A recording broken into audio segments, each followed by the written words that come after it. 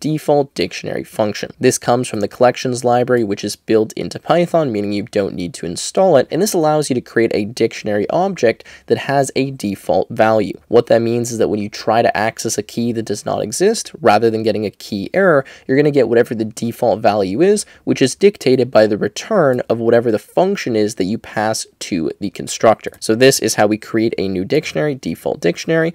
We then pass inside of here a function. In this case, I'm using the int function, and the int function simply returns zero whenever it's called. I could instead use the string function, so str.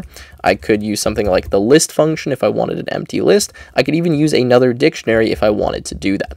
I can pass my own function as well, so just to make this clear, what I can do is define a function. So I can say define, and then we'll just go with default func like that. And what I could do is just return a value, say like 20, if that's what I wanted the value to be. And now rather than passing the int, I would just pass my default function. Notice I'm not calling it. And now anytime I try to access a key that does not exist, we're going to call this function get this value and use that as the default value.